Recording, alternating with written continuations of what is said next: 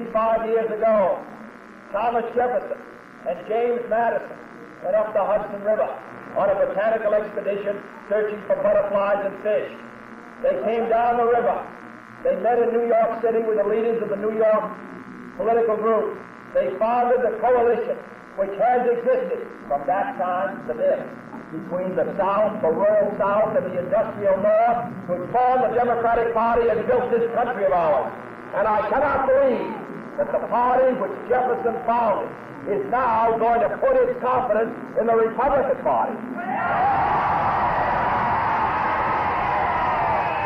I can understand 1952. President Eisenhower hadn't been a Democrat or a Republican. But now, 1960, he's right out of the Republican tradition. Mr. Nixon stands where Tom Dewey stood, where Alf Landon stood, where Coolidge stood, where Harding stood, McKinley, Taft. Where did they get those candidates? That is the Republican Party. And is Virginia, the home of the Democratic Party, going to support the Republicans in 1960? It is fashionable for Richard Nixon and his foray south to say that Lyndon Johnson and I are not in the tradition of Thomas Jefferson. Why, there has been a change since Thomas Jefferson 160 years. But can you tell me what Thomas Jefferson has in common with Richard Nixon? The fact of the matter is that in Thomas Jefferson's day, the Federalist Party in my own part of New England, expelled a senator from my state because they supported Thomas Jefferson and Louisiana Purchase. A contemporary described Thomas Jefferson as a gentleman of 32 who could calculate an eclipse, survey an estate, tie an artery, plan an edifice, fly a cord, break a horn, dance the minuet, and play the violin. What has he got in common with Richard Nixon?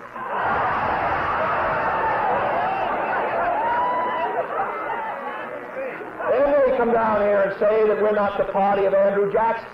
Andrew Jackson is the only president of the United States ever censured by the Senate because he tried to break the power of the Second Bank of Philadelphia and the Whig Party. The predecessors of the Republican Party said chosen in 1960 to run on a platform that our prestige has never been higher, that our security has never been greater, that our prosperity is unequal. I don't agree with it. And you have to decide what you think. I believe the United States has to do better. I believe we have to pick ourselves up and start moving into the 60s.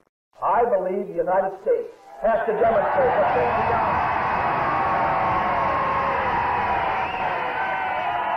So I come here to old Virginia.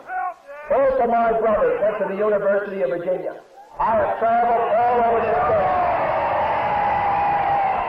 And I know a lot more about Virginia and about its history and what it's going to do next Tuesday than Richard Nixhouse from California. And we're going to send him back there.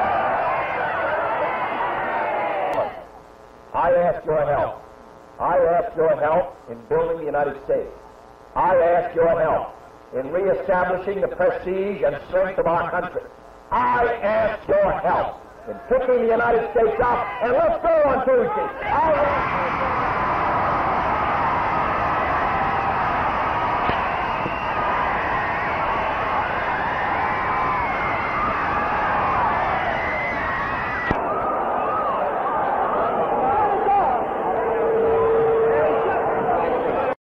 Calmly, please. Senator Kennedy is. Off they did. Oh, they ripped the wire down. They've taken your wires. Thank you.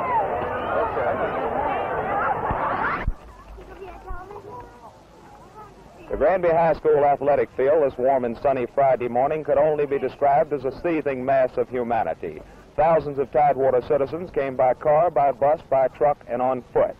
No one asked their party affiliation or how they planned to vote next Tuesday. But one thing was apparent. They were all here to see Senator John F. Kennedy. Kennedy arrived at Norfolk's Municipal Airport this morning in one of the last stops along an ex- extensive campaign trail. Just four days from today, the nation's voter will decide whether or not his bid for the... Let's take this paragraph again, okay? Kennedy arrived at Norfolk's Municipal Airport this morning in one of the last stops along an extensive campaign trail. Just four days from today, the nation's voters will decide whether or not his bid for the presidency will be realized. Just why he came to Norfolk is perhaps apparent. At least three leading news magazines this week reported Nixon ahead in the Old Dominion. Whether or not his Roanoke and Norfolk visits will turn the tide won't be known, of course, until next Tuesday. A slight hitch developed in plans, and the rally was late getting started. Various officials and dignitaries spoke as the teeming thousands waited, and the Princess Anne High School band offered entertainment. But when Kennedy arrived, all was forgiven, and pandemonium reigned.